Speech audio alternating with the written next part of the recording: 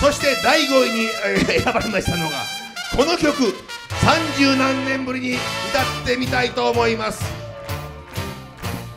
川口博が洞窟に入る。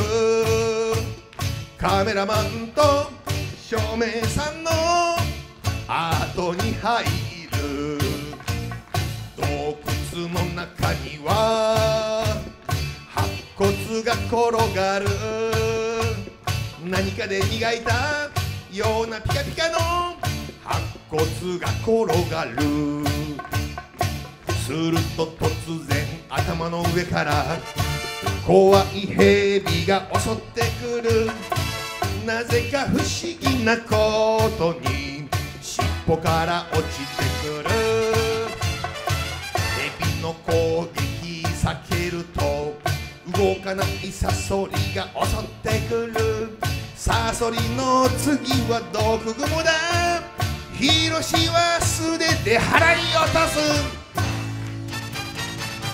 行け行け川口博行け行け川口博行け行け川口博どんと行け。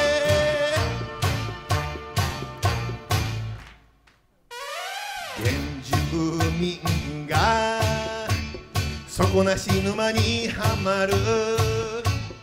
溺れている原住民の顔は笑ってる。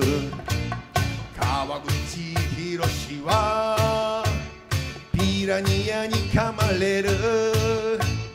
噛まれた素手が突然画面に大アップになる。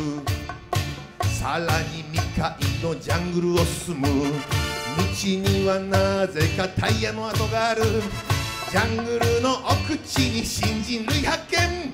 腕には時計の跡がある。こんな大発見をしながら決して学会には発表しない。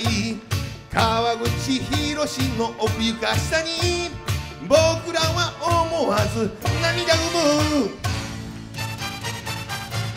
け行け川口博行け行け川口博行け行け。川口博どんと行け。大発見をしてジャングルを後にする。来るときあれだけい。たヘビやサソリ毒蜘蛛いやしない。底なし沼さえ消えて